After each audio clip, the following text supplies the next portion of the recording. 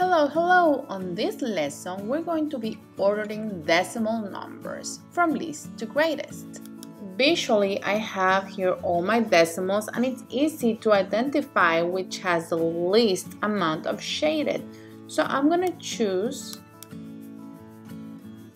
this one at 0.1 this is 1 tenth and it's 1 tenth because my whole is divided only in 10 equal parts and it's 1 tenth which one will be next? 0.3 okay. This will be 3 tenths. 3 tenths is that 3 out of the 10 equal parts are shaded. Then I have this. Look at what I have here. I have 0.30 as you can observe, these two are equivalent, but the models are different.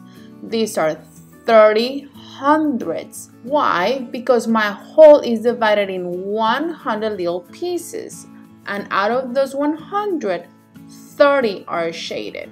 So even though these are equivalent, these are 3 tenths, and these are 30 hundredths. What's next? I see 0 0.46, 0 0.5, this will be 5 tenths, this will be 46 hundredths.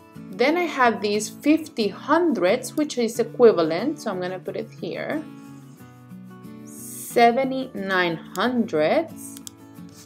And then I have another one that is 79 hundredths. What are these? These are 8 tenths and last but not least, we have 94 hundredths. I am sure that now you know how to order decimal numbers from least to greatest and how some are equivalent even though the models are different. I'm going to recap. These are 3 tenths, these are 30 hundredths, these are 5 tenths, and these are 50 hundredths. Thank you so much for watching. See you in my next lesson. Bye bye.